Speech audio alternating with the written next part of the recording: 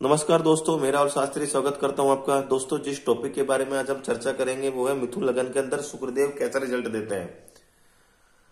तो मिथुन लगन में शुक्रदेव का क्या फल होगा? अब देखिए, लगन के अंदर तीन लिखा है, प्रथम भाव के अंदर तीन लिखा है तो आप समझ लीजिए, मिथुन लगन के जातकों की कुंडली होती है ऐसी। अब बारह भाव होते हैं, बारह भाव के अंदर शुक्रदेव ज़रूर कहीं ना कहीं ज़रूर होंगे। तो हर भाव के अंदर शुक्रदेव कैसा रिज़ल्ट देंगे, इसी के बारे में मैं आपको बताने जा रहा हूँ। मिथुन लगन के जो स्वामी होते हैं, वो बुद्धदेव होते हैं। बुद्धदेव और शुक्रदेव के अंदर मित्रता होती है। तो इस कुंडली के अंदर ज़्यादातर वो अच्छे फल देंगे। उनको दो भाव मिले हैं। शुक्र की दो राशि होती है, तुला और वर्षभ। तो एक पांचवा भाव और एक बारवा भाव। तो इन भाव से रिलेटेड भी शुक्र अपने रिज़ल्ट देंगे। तो शुक्र किसके कारक होते हैं? शुक्र भौतिक सुख के कारक होते हैं। ज़िंदगी के अंदर आपको जो भी भौतिक सुख चाहिए, उसके कारक होते हैं, सौंदर्य के कारक होते हैं।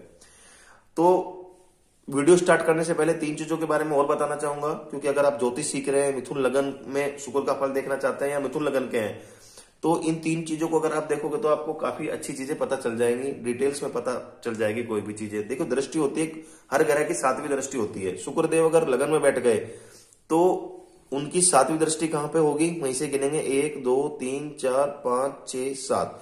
यानी जहाँ वो बैठे हैं, वहाँ के तो रिज़ल्ट देंगे ही देंगे। जहाँ सातवीं दृष्टि जाएगी, वहाँ पे भी वो अपने रिज़ल्ट देंगे। अब अंश के बारे में पता कर लेते हैं। ज़ीरो से तीस डिग्री के बीच में कोई भी ग्रह होता है, यानी किसी ग्रह का, किसी भी ग्रह का ज़ीरो से तीस के बीच में अंश होता है, डिग्री होती है।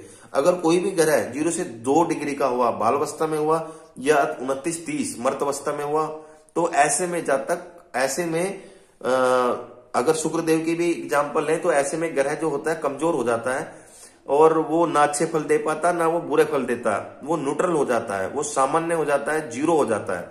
तो वो न सकारात्मक फल देगा, वो न नकारात्मक फल देगा। दशा, जो भी सकारात्मक या नकारात्मक फल देखने को मिलेंगे आपको, अगर मिथुन लगन में ही शुक्र का फल अगर देखना चाहते हैं तो जब जब शुक्र की दशा अंतर दशा प्रतांतर दशा चलेगी, तभी आपको ये सब चीज़ें देखने को मिलेंगी। तो वीडियो स्टार्ट करते हैं दोस्तों। अगर शुक्र जो है लगन में बैठ गए तो जातक काफ़ी खुश मिजाज, बहुत अच्छी बातें करने वाला, मनमोजी, परफ्यूम का शौकीन, बात करने का शौकीन, दोस्त बनाने का शौकीन, काफ़ी मिलनसार, संस्कारी, और ऐसे जातक के मित्र बहुत होते हैं। और जातक ज़िंदगी के अंदर भौतिक सुख की प्राप्ति करने वाला, ऐसे जातक बिल्कुल सूट बूट पहन के तैयार होने वाला अच्छा वाहन अच्छा मकान इन सब की प्राप्ति करने वाला होता है, क्योंकि जातक बहुत मनमोजी और जातक का भी शौकीन किस्म का होता है। जातक अगर जाति का है तो बहुत सुंदर, और जातक है तो काफ़ी आकर्षक किस्म का होगा। सातवीं दृष्टि, सप्तम भाव पे, विवाह भाव पे तो जातक को अपनी मन मर्ज़ी की लड़की मिलती है, और उसका विवाहिक जीवन भी काफ़ी अच्छा जाता है। दूसरे भाव के अंदर शुक्रदेव, अपनी शत्रु राशि के अंदर। कैसे रिज़ल्ट देंगे तो यहाँ पे वो अच्छा ही रिज़ल्ट देंगे। चाहे वो अपनी शत्रु राशि में भी क्यों ना हो, क्योंकि शुक्रदेव मिथुन लगन के अंदर अच्छा ही रिज़ल्ट देते हैं। तो जातक को कुटुंब का सुख जातक की वाणी काफ़ी अच्छी होगी जातक बहुत बातें करने वाला होगा जातक की वाणी बहुत मीठी होगी जातक बहुत नसीबदार और बहुत भाग्यशाली होगा, और जातक को हमेशा अच्छे ही फल मिलेंगे, कुटुंब लाभ भी मिलेगा, सातवीं दृष्टि आठवें भाव पे तो जातक की आयु भी काफ़ी अच्छी होगी। तीसरे भाव के अंदर शुक्रदेव अपने शत्रु राशि के अंदर, ये भाव अच्छा नहीं होता, जब तक बहुत परिश्रमी के बाद, बहुत मेहनत के बाद रिज़ल्ट देगा, पर जब तक बहुत पराक्रमी होगा, जब तक गायक भी हो सकता है। अगर यहाँ पे बुद्ध मिल जाए तो जब तक गायक या फिर किसी भी गायक होगा, या फिर नृत्य के क्षेत्र में, बहुत अच्छी जगह पे देखा गया है ऐसे जातक को। तो जातक अपने भाई बहनों से प्यार करने वाला होगा जातक को परिश्रम के बाद ही रिज़ल्ट मिलेगा और जातक पर बहुत पराक्रमी होगा। सातवीं दृष्टि नवम भाव पे जातक भगवान को मानने वाला होगा। काफ़ी कर्म काफ़ी अच्छे होंगे जातक के और अपने पिता से भी प्यार करने वाला होगा। शुक्र चौथे भाव के अंदर, यहाँ पे वो दिशा बली हो जाते हैं, पर जातक यहाँ पे नीच का भी हो जाता है। नीच का मतलब अच्छे फल नहीं होंगे और यहाँ पे दिग्बली होने के बाद अच्छे रिज़ल्ट देंगे। तो यहाँ पे मिले जुले आपको रिज़ल्ट देंगे। पर ज़्यादातर कैसा होगा? माता से मन मिटाओ। अगर यहाँ पे बुद्ध की अगर, बुद्ध की अगर प्लेसमेंट अच्छा हुआ तो यहाँ पे मकान, वाहन, जितनी सब सुख सुविधा चाहिए, वो थोड़ी परिश्रम करके, थोड़ी मेहनत करके, जब भी आप प्राप्त करेंगे।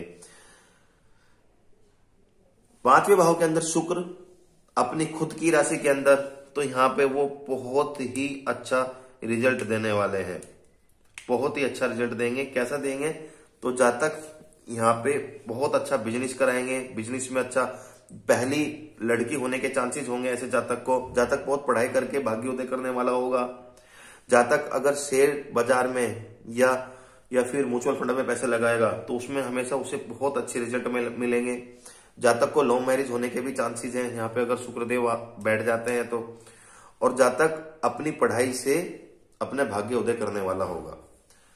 छठे भाव के अंदर शुक्रदेव त्रिक भाव के अंदर कोई भी ग्रह हो तो अच्छे फल नहीं देता। त्रिक भाव होते हैं छठा, आठवां बारवा इसमें अगर कोई ग्रह बैठ जाए तो अच्छा नहीं माना जाता। तो यहाँ पे क्या होगा? शुक्र अगर पति है तो पत्नी और पत्नी है तो पति। आपस में मतभेद करा देगा। जातक के पेट में दिक्कत देगा, जातक अपनी पैतृक संपत्ति को लेके या मत, पत्नी को लेके कोर्ट कचहरी में जाना पड़ सकता है। यहाँ पे शुक्रदेव अच्छे रिज़ल्ट नहीं देंगे, बारवा भाव पेन की दृष्टि तो जातक का व्यय बहुत कराएँगे, आमदनी कम होगी, जातक को बीमारियाँ भी छोटी मोट छोटी मोटी देखी गई है। सातवें भाव के अंदर शुक्रदेव तो कैसा रिज़ल्ट देंगे? अपने मित्र की राशि में तो जातक क्या अगर गुरु का प्लेसमेंट अच्छा हुआ तो जातक का पत्नी से बहुत अच्छा सहयोग मिलेगा। जातक की वाइफ को बहुत ही अच्छे, भाग्यशाली परिवार से होगी तो यहाँ पे जातक को पार्टनरशिप का भी बहुत अच्छा फ़ायदा मिलेगा। अगर वो पार्टनरशिप करेंगे तो व्यवसाय में भी उनको काफ़ी अच्छा लाभ मिलेगा। आठवें भाव के अंदर शुक्रदेव कैसे रिज़ल्ट देते हैं?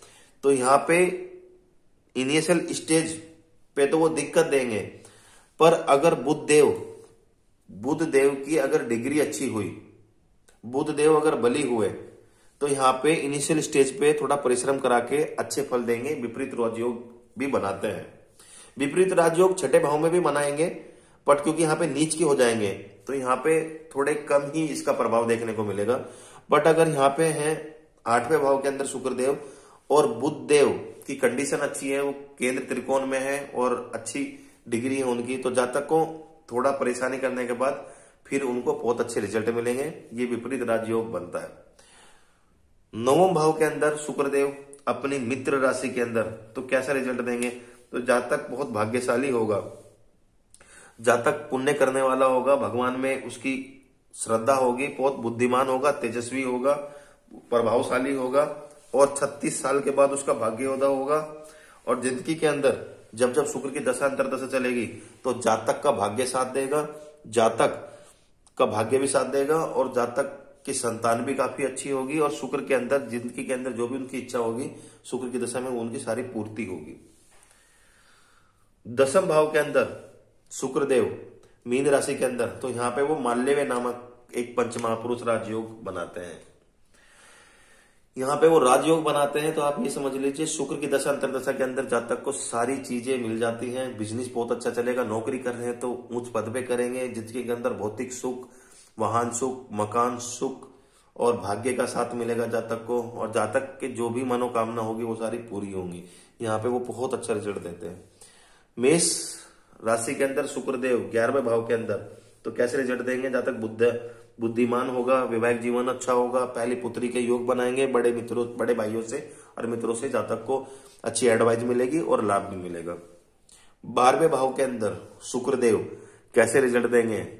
अगर बुद्ध देव की कंडीशन अच्छी नहीं हुई तो ऐसे में जातक को बहुत परिश्रम करना पड़ेगा आमदनी कम खर्चा ज़्यादा करा देगा बुद्ध की कंडीशन अच्छी हुई वो त्रिकोण में हो या केंद्र में हुए तो जातक को विपरीत राजयोग बनाएगा और ज़िंदगी के अंदर परिश्रम करके सब परिश्रम कर, परिश्रम करने के बाद सब सुख सुविधा सब सुख की प्राप्ति करने वाला होगा। तो दोस्तों मैंने आपको बताया मिथुन लगन के अंदर शुक्र का फल। मेरी वीडियो अच्छी लगी होगी तो लाइक करना। आप नए हैं तो चैनल को भी सब्सक्राइब करना। धन्यवाद।